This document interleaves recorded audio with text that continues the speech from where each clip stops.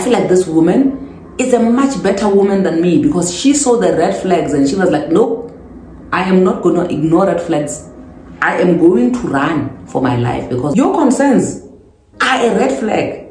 And uh, that is one of the reasons why I'm saying Mori, because as Christians, a lot of times we take red flags and we sweep them under the carpet. When people now see red flags from the get-go and they be like, listen, I'm not gonna take this, I'm leaving. Still, we're gonna judge them. She dodged the bullet for sure. That's one thing for sure. Because you, Pastor Zulu, you Zulu, you, going off, going off. Now. Hi everyone, welcome back to my channel. My name is Perseverance Maremeni, also known as Madam Speaker, also known as the CEO of Self Love. If you're joining in for the first time, welcome to the family. Please hit that subscribe button, like, comment, and share. And if you're returning, thank you so much for the continuous love and support that you are showing me. I know that it's been a minute since I posted long form videos and that's because I've been so busy with second annual women's conference preparations and execution and now that we're done with the Pretoria edition and we're looking forward to the Polokwane edition I just want to say thank you so so much to every single person that attended the Pretoria edition of second annual women's conference. It was amazing. It was out of this world. We're still gonna be posting long form videos about that. My media team is still busy with that and I can't wait for you guys to see what actually went down. And and thank you for those who actually made it and to the team ah man god bless you.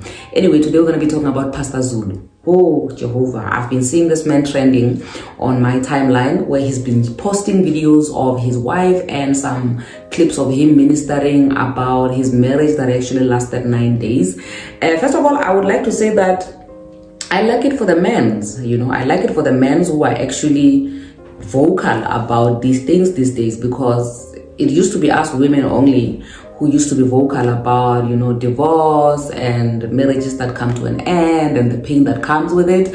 But the fact that men are also starting to open up now that is beautiful. And we commend you for putting your story out there pastor zulu. However there's a lot to say. There's a lot to say. Because the first video that i saw that you put out there where you were saying look at the way she's singing this woman and she walked out of a marriage after nine days. At first, I didn't think the person who is actually posting these things is the actual owner of the wedding. I thought it was somebody else who picked it up from social media, only to find out, no, the guy who is actually posting all this content is the ex-husband you know? And when i looked at the whole thing i realized oh no man this thing happened actually a long time ago because the divorce took place the marriage and the divorce took place in 2019 but these videos are now being reposted by this husband. I believe that because now it's getting a lot of attention he's decided okay let me resurrect the whole thing. Let me start posting from scratch. So as i was busy looking i'm like okay i want to understand what is actually going on? Because one thing's for sure girls we love marriage so much because marriage is glorified in our churches so much. Because every single time when you go to church there will be an altar call for those who want to get married or prophecies about those who want to get married or how beautiful people are who are matchy matchy you know. So marriage is one thing that is really glorified at churches. I don't want to lie about that one. So it's a thing that almost every christian girl wants to have. But now when a christian girl who is even singing like an angel walks out of a marriage after nine days. Nine days. What could be the problem?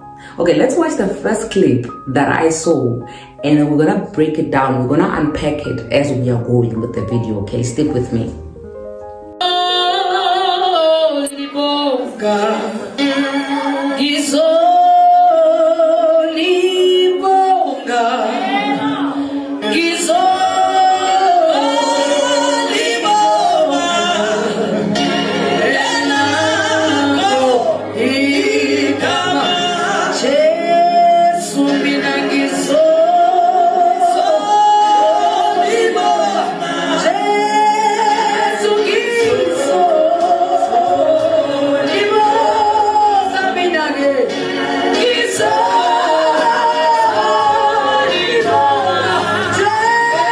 Okay, so the thing that caught my eye, and I believe this is what caught a lot of people's eye, is the way the caption is written that this person is singing so well at her wedding only to walk out after nine days. You know, if this thing was being said by a third party or something like that, it would make sense. But this thing is actually being said by the ex husband, and this thing is how old?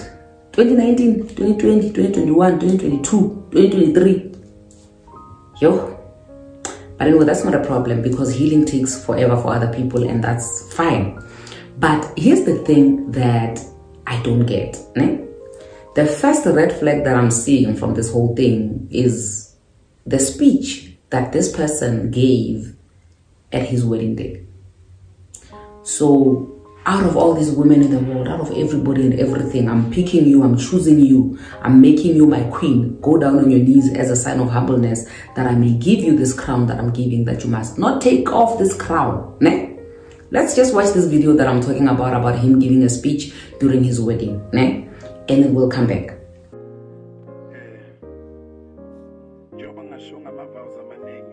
Since you haven't said a lot in your vows, I prepared something. As I'll be uncovering your veil, I want to speak upon it.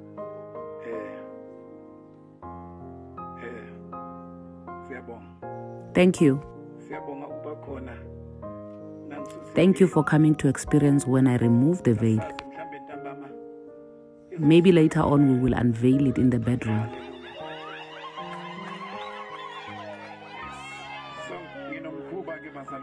So I have a tendency, saints, of doing things differently. Because my name is Cedric Zulu. As I'm going to uncover this veil, there are words that I would like to say to her. That as I'm removing this veil, I'm making you a queen. And I'm making you a queen in front of everybody. I'm not only removing the veil, leaving you with nothing. I'm making you a queen of the Zulu family. I went and I looked for a crown.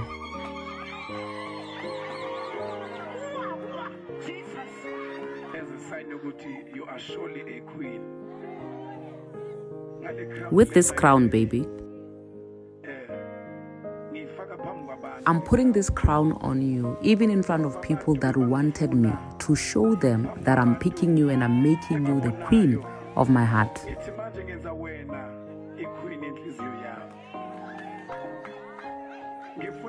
I want you to be lifted up even when we are going to take pictures. You must walk with pride so that people may know that you are the queen of the Zulu family.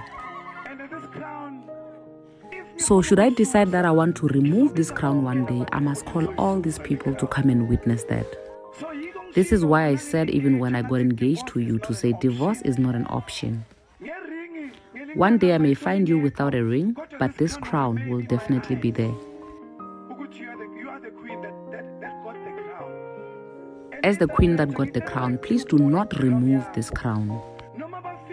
Even when you see them coming dressed nicely, that doesn't matter because you are the one that won the crown. Do not remove this crown no matter what. So if you agree that I should make you the queen, being a queen comes with an entire kingdom. You have a kingdom to rule over. So if you agree that I should put this crown on top of your head, I will see you going down on your knees as a sign of humbleness so that I can put it on top of your head. I will see you going down on your knees to show that really you are humbling yourself in order for me to put this crown on top of your head. And I will surely take off this veil in front of all these people. But later tonight, it's definitely going down. And there goes our lady going down on her knees and having her beloved husband putting a crown on top of her head. Now, let's just put it aside for now and then we'll come back to this one because when everything is now gonna be added all together, it will make sense. Because even with me, as I was watching part number one and I'm watching the vows of this guy, and now I'm finding videos of him doing interviews about the wife leaving him. The big question is why? Why did this woman decide that only nine days is enough? To walk away. And uh, for some reason, I kind of feel like this man is putting these videos out there as a form of shame, you know, to shame this woman, to say, shame on you. You couldn't even last a month. You couldn't even last two months. And for me personally, I feel like, you know what, bravo to people who actually see it early that marriages are not working out and they walk out before it's too late. They walk out before there are other things and other attachments. If you get in there and you find the shock of your life, walk out. Because there's another video that I saw where a lady was giving a story to say, you know, I'm about to get married in a month's time. And I found out that this man has got a baby outside and this and that. He's sorry that I found out and he was not, you know, ready to share. And I want you guys to tell me what to do. People are busy mentioning me, come and help, come and help. I didn't even comment in that video. If you're watching this video and you're one of the people that mentioned me in that video, and easy, and easy. Because if you're saying you found your husband with the baby, you found out that your husband has a baby and this and that, and you are asking us what to do because you don't know what to do, because your family is saying the marriage is going on, the wedding must go on. Your uncles are saying the wedding must go on, so now we must tell you what to do. Uh-uh. No, it's a trap. For as long as when you don't know what to do, then it's fine. But if with all this information that has been presented to you, I mean, guys, I always say that, you know, God loves us so much that he reveals things to us at the right time. But we are the ignorant ones who decide that, no, we're going forward, we go in the name of Jesus, forward we go, even though God is revealing things to us to say, hey, babe, listen, don't do this, don't do this. You are so blessed to find out before you get married that this person has a kid. But you're still asking us, well, what must you do because your family is saying the marriage must go on. Anyway, I'm not going to tell you what to do. You, you do what is best for you. If you're going to come back later on and we must talk to you about how to get a divorce lawyer because now the kids are seven, it's fine. It's, it's, your, it's your thing, okay? You, you decide on yourself. Uh, back to the issue of this pastor who got left after nine days of being married. There is no shame in this woman leaving, first of all, you know, because you don't have to wait for a year for you to leave a marriage if you are walking in right now and you feel, oh, I should wrong turn, you walk out now. In fact, you are the girl. If you are going to be walking out immediately after you walked in because you realize, oh, no, it's, it's a scam. It's not what I thought it was. Okay. But um, the main thing that I'm here to address is not the fact that I'm maybe I'm siding with the woman to say don't shame her because she walked out after nine days. The thing that caught me is how this man is not explaining the reason why his wife left him. I, for one, share openly about my divorce, and I share even the reasons why I got divorced, the reasons which are on the divorce decree. But this man is not telling us the real reason why this woman left. He's busy saying, no, she she had her own concerns. We had a family meeting, but after that she packed and she left. But here's a red flag that happened. Just watch this one with me. She put on winter pajamas. When we got to that place where we had booked, I was sitting with my groomsmen and I left them where they were seated and I told them that I'm going to my wife now. We are going to make a baby tonight. When I get to my wife, I find her wearing something that closes up to the neck. She is literally covered up, and I ask her that, Mama, when you left your home, didn't they tell you what's going to happen when you get married? Well, after I spoke to her about that, she pretended to be tired and wanted to sleep. So I just said maybe she's tired because it's the wedding night. So I let her sleep. So the following day, we wake up, we have to fly to go to our honeymoon. And when we get there, I tell her that, baby girl, then now when we get there, I start confronting her to say, please tell me the truth because I'm also not a virgin anyway. So what's going on? So now I'm asking her, when did she lose her virginity? Because every time when I'm on the phone with her, I'd be the one that is always telling her the things that I have done, confessing to her. But she's not telling me anything about herself.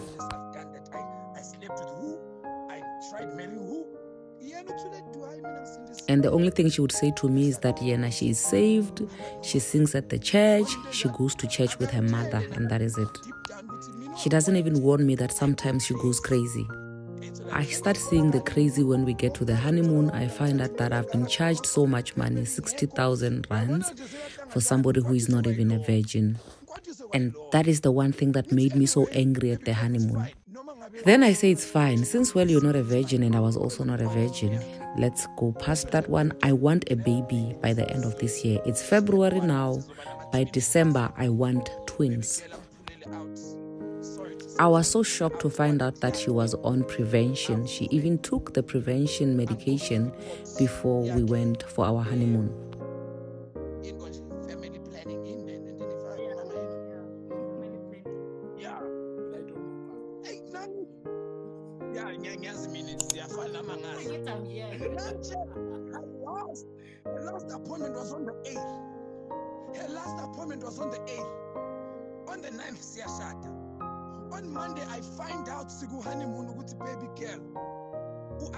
Wena udokotela. Ah. So imagine some of the things that hurt me. That today abantu bayakhuluma, "Yeah, vele amadoda So these are some of the things that hurt me. And as much as they say men are evil, but imagine paying 60,000 for somebody only to find out all these things at the honeymoon. Ngithola ubaby girl u-on the pill. I lost That's when I lost it and I fought with her. My uniform. So I get home and I found my uniform ironed and packed because we're going to do some that's one of my catering business. Then the next day, eh wait, nangifika lapha impahla zami zi-right but eceleni upake yonke into yakhe. There's about four But next to my uniform, I see that she has packed all her next to my stuff, uniform. some even in plastic So I, bags. I, I but call her everything is that mama, what's happening lapaya? Ati, I'm leaving. Remember Tuesday we had a family meeting. yeah. She didn't leave. And then it's Friday, Ati, I'm leaving. It's okay, mama. So now, that because I can feel the pressure that she's really leaving me, I tell her that when you leave, may you please come back at least on Monday or Tuesday. Or better yet, I will come and fetch you when it's time for you to come back. Because I didn't want to believe that she's leaving me. It's, it's very far from where I am in Puma, eh, Witbank, in Mpumalanga. And then, and then that's how she left. So I went out and I fill up a, a, a, petrol. in one- So I went out to fill up some petrol on one of my cars or trucks, and when I came back, she was gone. Yeah, obviously you were hoping with your police her head since well it's a Friday. That's why I would say come back. Yeah, come back on Monday or Tuesday. Hey, hey, to my amazement. Nangibuya ngithela petrol ngithola So when I came back, my niece told me that actually the police are the ones who came to fetch my wife when she was leaving. athi eh ulandwe maphoyisa Mm. that And for the sake of my own safety and yours, I don't want to dwell too much on the issue of the police coming to fetch her because that's another story altogether. eh for for for safety Yeah. yethu sonke Okay. But it became it became worse there was court involved eh i lost more money from the wedding i lost i even had to pay 20000 rand for four visits for i-lawyer lami driver from Witbank to Siyabuswa. So it was that kind of drama. So she didn't just leave me nine days, ma eh, no mama lapo. She left me and she made sure ukuthi I am defeated. So now the host is saying that the people who are viewing this live are asking what was the meeting about on Tuesday, which she was raising her concerns, and what were those concerns? I think I, we have to know the reason why the family meet. What was exactly the reason? If family ihlangana. Uh, why abiza yonke family? I think I angazi noma did you hear what was I heard, but I think you guys want him to go deep. I heard Ute, she, Ute, the reason was she wanted to break off. So, in a nutshell, the wife was tired in nine days. All she wanted was to just leave this marriage. and also I think I think still still uh it doesn't give me the reason to not ask Guti what was the reason because Okay, so let me get this right. You you get married to somebody, assuming that this person is a virgin, right? And you pay lobola of sixty thousand because you are paying for a virgin, right? You are not a virgin, well, but you are paying for a virgin. It's fine. And then you get to the honeymoon, and you are shocked that this virgin of yours is taking pills for prevention. And then when at that honeymoon, you say that it's February now, by December, I'm expecting you to have a baby. What happened before you guys walked down the aisle? Did you have these discussions before you walked down the aisle? or you thought that because now I have locked this person up during the matrimonial ceremony, now I'm gonna show her my true colors at the honeymoon. Because you are talking about how crazy this woman is, how this woman is now behaving a certain way, but you are shocked that she's not a virgin. It's fine, you're not gonna judge her because you are also not a virgin. But then you want a baby. A baby is not from God. These demands that you are giving her at the honeymoon, are these not the things that you should have discussed beforehand to say, listen, when we get married, I expect you to have a baby with me nine months after we get married. Maybe she would not have even walked down the aisle with you to begin with. Because honestly speaking, in my opinion, it's giving narcissism vibes. Because how do you, and I know you're trying to make yourself look good, but you're just giving it away anyway. Because if you're going to say that at the honeymoon, I said to her, nine months from now, I want a baby, but this woman is busy taking pills to prevent. This woman is not a virgin. I married a virgin. I paid 60,000 for a virgin, but it's fine. And then you say that when you got home, there was a family meeting, and during that family meeting, this woman raised concerns that she's not happy about, and you're not even disclosing what those concerns are. Because those concerns which she's raising, they are obviously very valid concerns. That's why she up and left. Like I said in the beginning, that women love marriage. Especially women from the church, they admire marriage so much that, listen, being married is a thing. When you're married and you are matching with your husband. In fact, even like being married to a pastor, wow, what an achievement. Top achiever, that girl. So for a top achiever to actually get up and walk out of a marriage, I, my brother, there's something you're not telling us. There is definitely something that you are not telling us. And like honestly speaking, in my case, I'm not even gonna judge you for sharing your story. You are well within your rights to share your story about how your marriage only lasted for nine days, how you were laughed at, how you were depressed, and this and that. But I'm wondering now, what are her reasons of wanting to walk away from a marriage after nine days? Because your concerns that actually got her to be angry at you during the honeymoon. Then when you guys came back, you had a meeting, and then nine days later she walked out your concerns are a red flag. And uh, that is one of the reasons why I'm saying more because as Christians, a lot of times we take red flags and we sweep them under the carpet. Uh, when people now see red flags from the get go and they be like, listen, I'm not gonna take this, I'm leaving. Still, we're gonna judge them. We're gonna have husbands who are busy posting them saying she walked out of a marriage. Look at the way she sings. Look at the way she is. She walked out of a marriage after nine days. Yes, bravo to her for working out of that marriage. If it's toxic, if she realizes that she's dealing with a narcissistic person, bravo to her for walking away after nine days. She did so well. In fact, she should have left you by the altar, my brother. Because there's no way somebody is just going to up and leave. What did she say her concerns were? You know, more than once, I've had people asking me this question, especially during interviews. Did you not see the red flags from the beginning? And my answer is always yes, I did see the red flags from the beginning and I ignored them. And I feel like this woman is a much better woman than me because she saw the red flags and she was like, nope, I am not going to ignore red flags. I am going to run for my life because of these red flags.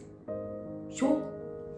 But anyway, as the people are saying in the comment sections, you know, because at first I felt like people were being too harsh on you when they say yo city sorry since last year since year before last since all these years you've been posting these videos of your ex-wife literally right now i feel like you're trying to get your ex-wife's attention so much that's why you are still posting the same thing guys i for one am still suffering from people posting about my ex-husband like i never ever ever post about my marriage my previous marriage but in every comment section, in every video that I post, in the comment sections, you'll find people commenting about my marriage. Oh, that guy, shame. I wonder how he's like now. I wonder how he feels now after losing such a wife. They do that to me all the time. And that is so annoying, you know, because I am so over it. And it's only been two years. And I know that for you, maybe it's going to take 10 years for you to stop posting videos about this woman who left you after nine days or maybe you are waiting for her to respond. And uh, this woman, in her refusal to respond, she knows exactly what she's dealing with. I wish to meet Nomtandazo one day. Nomtandazo, if you find this video, please, I want to have a private conversation with you. Because Nomtandazo must multiply. Nomtandazo must multiply.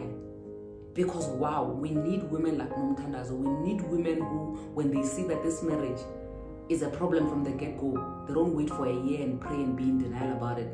They just up and go because they can see that problems are ahead. Because obviously you showed her flames at the honeymoon. She left you after nine days. You saying that you wanted a baby within nine months of you being married. You said that when you were marrying a virgin, you paid a lot of money. You paid 60,000. And then now you are surprised why this woman left you. If these are some of the things that you were sharing with her when you guys were together there at the honeymoon, if these are some like an inch of the colors you were showing her at the honeymoon, ah, Nomtandazo, you have balls of steel for actually leaving a man like that. Because a lot of women would, would have been in denial. A lot of women would have stuck around and waited for a miracle to happen for this man to change. And I don't know how many women I've spoken to, I've had private conversations with who are married to pastors who are exactly like this man, who are making babies out there, who are narcissistic, who are abusive. There's a video that I did not so long ago about a pastor who was shouting as, at his wife in the in the middle of a service. Nomtandazo, bravo to you for not having to wait that long, for not having to wait until it gets to a point where this man drives you to a psychiatric ward. I respect the fact that you don't want your story to be heard or to be shared, but I say congratulations to you for choosing yourself and walking out while the cement is still wet. Because had you waited longer, you probably would never would have lived to tell the tale. I'd like to believe that if this is what is trending now, four years later, Aisha, I'm sure you are very proud of yourself for walking out of that marriage after nine days. That being said, thank you so much for tuning in. That is my thought about Pastor Zulu, who is making his wife trend for leaving him after nine days of them being married. Uh, and it seems like he's wearing a ring now, meaning that he has found a new wife. You are somebody else's problem now, man of God. Focus on being the problem to that new wife of yours. Leave Nomtandazo alone because wow, Nomtandazo dodged a bullet. She dodged a bullet for sure. That's one thing for sure.